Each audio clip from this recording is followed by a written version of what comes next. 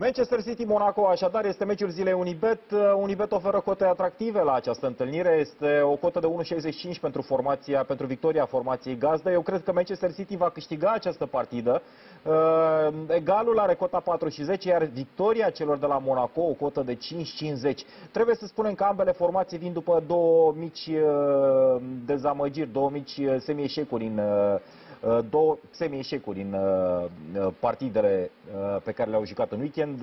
Manchester City a remizat pe terenul lui Huddersfield, formație din Liga a doua, în vreme ce Monaco a remizat la Bastia, dar n-a remizat oricum, ci jucând prost jucând prost și jucând mai ales cu primul 11, pentru că aici e Mă rog, problema... mai mult sau mai puțin, că am înțeles de la Radu că au fost totuși câțiva jucători care uh, Bine, uh, sau cel puțin uh, bă, bă, zona de atac, uh, cei cu care Monaco vor încerca bă, mâine seară sau în, a, în această seară de acum, să o îngenuncheze pe City chiar, chiar pe teren propriu. Da, și City, City a jucat cu, cu echipa a doua, dar evident nimeni, nu, niciun fan al lui City nu înghite acest 0 la 0 la Huddersfield, o candidată la promovarea în Premier League, dar până la urmă o echipă de, de ligă secundă.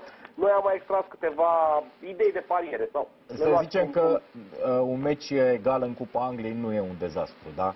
În, nu în e, Cupa da. Angliei oricum se rejoacă dacă ai făcut egal, nu? Da, se rejoacă și e o, în sfârșit o idee pe care presa engleză a lansat-o cu ceva vreme în urmă, Așa. pentru că fotbalul costă atât de mult în Anglia, inclusiv Așa. Uh, aceste echipe mari suferă la capitolul uh, financiar.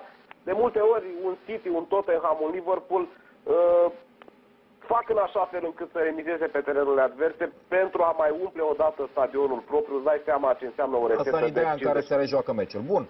Exact. Uh, mai vedem uh, câteva cote acum, Sabin, pe micul ecran. Uh, tu le-ai ales. Hai să le spunem oamenilor uh, pe, în ce fel uh, le-ai gândit. Uh, am luat în calcul, uh, știu eu, uh, lucrurile pe care acest meci ne, ne le-ar putea aduce. De Bruyne marchează și X uh, final o cotă de, de 20 sub 3 goluri asiatic, o cotă de 1,77, pentru că eu cred că nu trebuie să confundăm uh, prestațiile celor două echipe în campionat, în campionate cu un meci de Liga Campionilor, să ne aducem aminte de Manchester City cu Barcelona.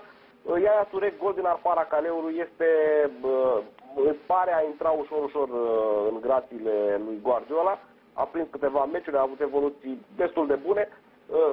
Uh, ne gândim că ar putea marca din afara careului. Sunt doar speculații pentru cote foarte, foarte bune. Cota nouă pentru Iaia Ture, gol din afara uh, careului. Dar una peste alta, pariul nostru se limitează la, la goluri și la felul în care cele două au uh, abordat și până acum această competiție, dar și a formei în care, pe Așa. care City și Monaco o traversează iar pariul nostru este pe goluri, ambele marchează pentru o cotă de 1,67.